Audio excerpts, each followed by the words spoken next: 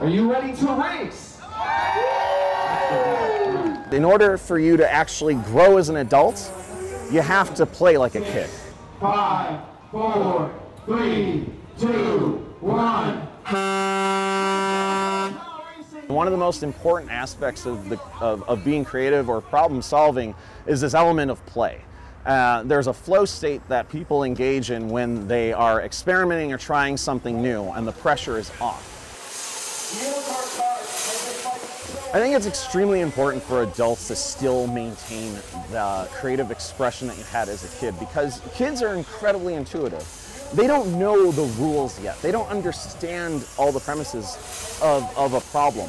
But that's part of the benefit of being younger. That's part of the benefit of, of having a play state when you are engaging in problem solving. Instead of just knowing all the facts, knowing every single thing, you have a curiosity because that's the only really way to do it. You have to put away the things that you've known to really look at a problem with a new light and a new eye and a fresh take.